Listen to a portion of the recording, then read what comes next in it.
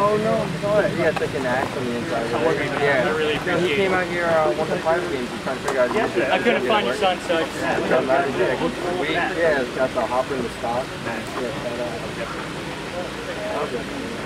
For me, it feels like a long time. This was a long day. I went to the med after.